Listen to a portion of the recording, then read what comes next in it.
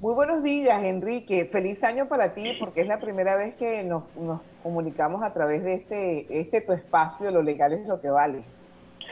Gracias, Tibaire. Buen día, feliz año para ti, para Elías, para todo el equipo, para los que hacen uso de tu espacio radial, de tu comunicación. Excelente, muy contento con reiniciar las actividades de este equipo que tuvo en forma, econominio.com, Radio Comunidad, etcétera. Y bueno, muy interesante, muy expectante también ante el tema que me has propuesto plantear hoy, como es el que tiene que ver con la posibilidad de que aquellas decisiones de asambleas o de consultas escritas pudieran ser o no revisadas o revocadas por la propia comunidad. Así que bueno, completamente dispuesto a conversar al respecto. Mira, aquí te acompañamos Elías y yo, estamos hoy en el programa los dos. Qué bueno, qué bueno.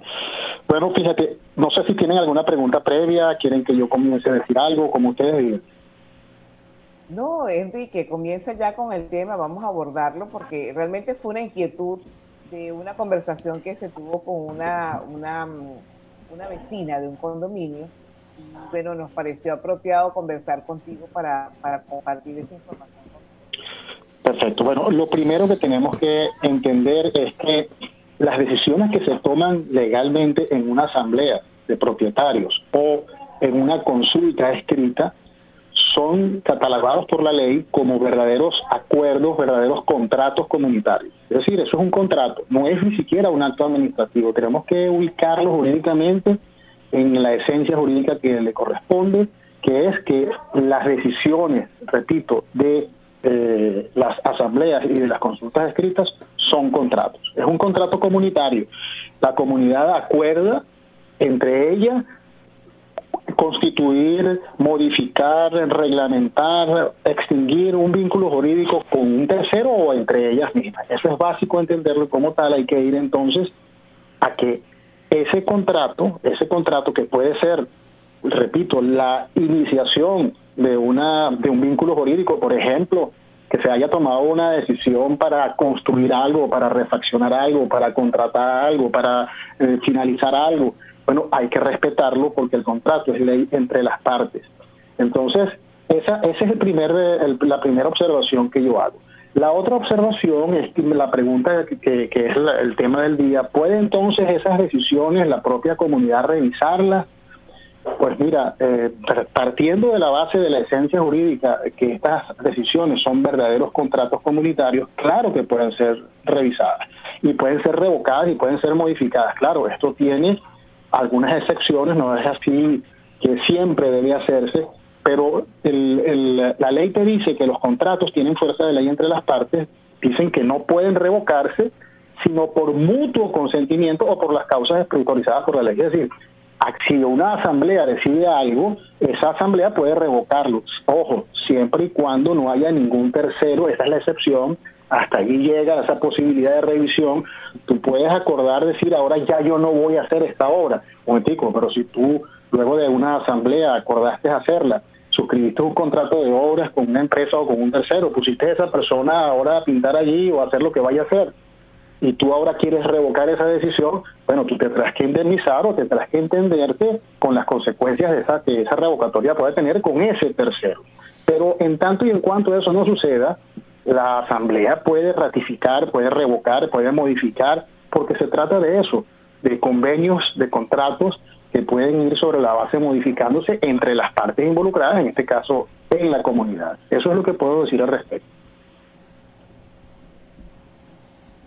Mira, Enrique, entonces lo que entendemos es que así de la misma manera en que se elabora el acuerdo debe ser revocado. O sea, no puede un grupito nada más decir vamos a revocar la asamblea que tuvimos el día de ayer, sino las mismas personas que participaron en la conformación de este acuerdo son las mismas personas que deben hacerlo y me imagino que deberíamos convocar nuevamente a esta asamblea para tener como, como punto a tratar la revocatoria del acuerdo anterior, Eso es correcto. Entendiendo. Correctamente. No, no significa esto, con que te estoy diciendo que sí, que deban de ser las mismas personas, fulano, parentesco y sus hijos, que vayan otra vez a esa asamblea. y digan que no, sino que si tú llegas, llevas a cabo esa asamblea de conformidad, con la convocas de conformidad como haya establecido el documento de condominio o la ley de propiedad horizontal, llenas tu quórum, eh, llenas tus requisitos legales, esa nueva asamblea puede revocar la decisión de la anterior, repito, sí, solo si no hayan terceros afectados con esta nueva decisión. Fíjate que esto ocurre mucho y esto casi no se ve, yo lo recomiendo mucho cuando, eh, cuando tocamos el tema de las impugnaciones. Este, fíjate, es la práctica, ¿no? Eh, ¿Por qué hacer esto? Tú dirás, bueno, ¿qué sentido tiene hacer lo que ustedes están eh, eh, planteando? Bueno, tiene un sentido, tiene mucho sentido. Primero, algo que de pronto allá sobre la marcha se considere que no sea adecuado. Tú dices, bueno, ya no nos conviene, ya no nos interesa, por las razones X. Pero en el caso de las impugnaciones de las asambleas, y esto es algo que yo voy a decir que, que yo utilizo mucho, que, que, que a lo mejor se sabe, pero en todo caso es mi, mi obligación decirlo, divulgarlo hay muchas eh, comunidades que de pronto cometen algún error en la manera como convocan o de pronto en la realización de la asamblea se lleva a cabo algo que no debió haberse llevado a cabo, se o, se, o, omiten de pronto hacer algo que debieron omitir. En fin, llevan a cabo la asamblea de manera irregular, de tal forma que alguna persona de las que pudiera estar allí en la asamblea o que antes de ir a la asamblea considere que esa asamblea pudiera estar viciada, pues entonces impugna esa asamblea por los motivos que tengan dentro del lapso legal esto de los 30 días que ya conocemos. Yo en esos casos, cuando la situación es de un vicio relativo, cuando la situación verdaderamente puede eh, remontarse, ¿Qué le recomiendo yo a las comunidades? Bueno, señores, hagan otra asamblea. Este señor está diciendo que no se convocó de esta forma porque hubo un error aquí, o que se omitió esto, o que Vamos a hacer una cosa, barrida y mesa limpia, vamos a hacerle caso, vamos a ir al documento de condominio, vamos a someternos a los lineamientos legales y vamos a ratificar las decisiones que se hayan tomado en esa asamblea. Y por ahí, esa, si se trata, por supuesto, de vicios relativos, que no sé, porque hay cosas que no se pueden convalidar, pero si se trata de eso, es una manera de rectificar, si verdaderamente hay una buena intención, una sana intención, de evitar inclusive conflictos, de irse a un juicio de asamblea, de no sé qué, pudiera ser interminable, y de esa manera, pues la comunidad, si verdaderamente quiere que se dé esa decisión, y esa decisión es válida, es legal, es conveniente, y lo que ha habido, repito, es un vicio en la conformación de ese contrato, vale decir, en esa decisión de esa asamblea, bueno, se corrige y se vuelve a hacer la asamblea y puedes agregar otros puntos. Por el punto número uno, ratificación de la Asamblea General Extraordinaria de fecha primero de octubre del año 2020. Eso es desarrollar los principios que estamos diciendo. Otra cosa importante, eh, Tibaire y Elidas, que es bueno que lo sepamos, es que esto que estoy diciendo yo no es un criterio mío.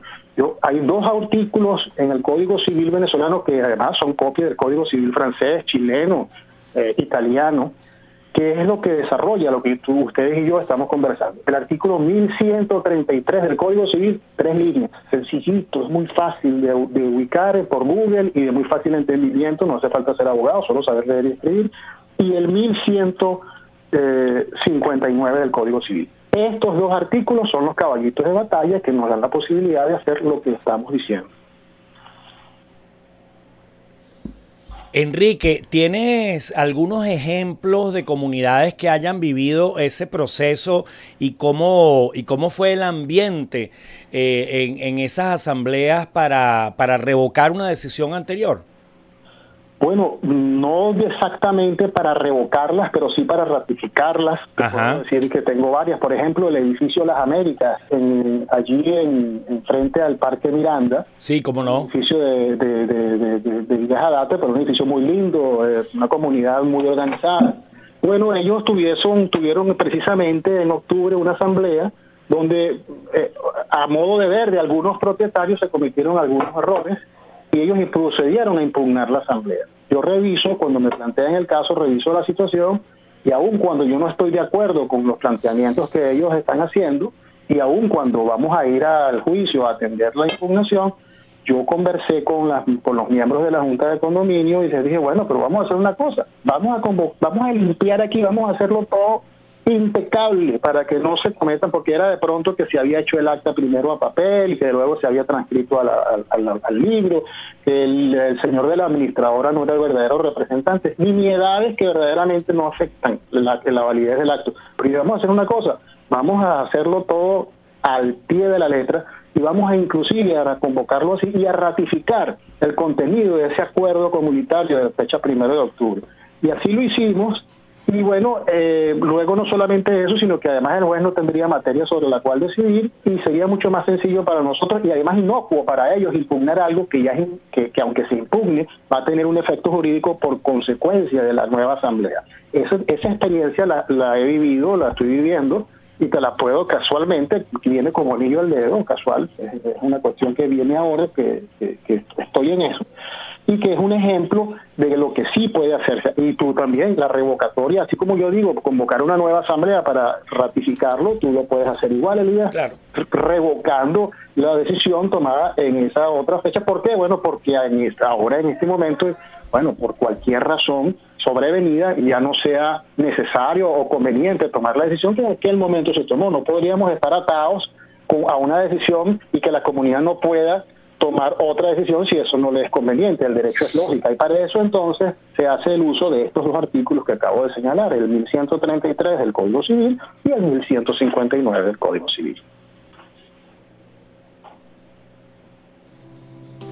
Oye, gracias. De verdad que bien, bien eleccionadora esta, esta sección del día de hoy. Y con ejemplo incluido y todo, Elías, ¿no? Claro, gracias, gracias Enrique. Un saludo de todo el equipo de radiocomunidad.com y de nuestro asistente de producción Catupi, el conocido como Coraje. Coraje, caramba, sí señor, una, una, persona apreciada, un, animal apreciado, un animal, porque es un animal, pero una mascota, para no hacerlo peyorativamente, una mascota muy querida. A ustedes muchísimas gracias, gracias. por la nueva oportunidad, Elías. Siempre es un, gran gusto compartir con ustedes y es muy enriquecedor siempre. Cada vez que aire me llama y, y me plantea cualquier tema, uno cree que todo está escrito, Elías, y que todo está dicho no es así. Oye, Enrique, muy buenos comentarios, recibimos muy buenos comentarios y, bastante feedback de eh, la entrevista que tuvimos contigo en el programa micondominio.com en Globovisión sobre los condominios vacacionales. Eh, reconozco, quiero reconocer la generosidad tuya profesional, Enrique, compartiendo siempre tu conocimiento y cumpliendo con esa labor de orientar a la comunidad. Gracias, Elías, gracias. Ustedes han sido para mí un faro, en especial tú, tú lo sabes muy bien, no es lisonjería, lo sabes muy bien, siempre ha sido un factor motivador y ahora Aire también. Así que bueno, siempre si Dios quiere, hasta que Dios quiera, pues atendiendo a los llamados de ustedes y formando parte de su equipo. Muchísimas gracias. Gracias, Enrique. Gracias.